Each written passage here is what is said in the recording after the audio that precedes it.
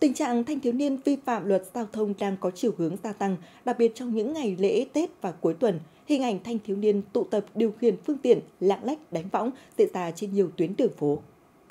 Không đội mũ bảo hiểm, dài hàng 2, hàng 3, phóng nhanh vượt ẩu, lái xe chở quá số người quy định là những hình ảnh diễn ra trên các tuyến đường Nguyễn Văn Linh, Tô Hiệu và đường Điện Biên ở thành phố Hưng Yên vào tối ngày 31 tháng 12 vừa qua. Đa phần người điều khiển phương tiện là thanh thiếu niên.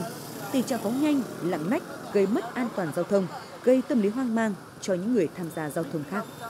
Đi chơi vào những cái dịp ngày lễ như này thì mình cảm thấy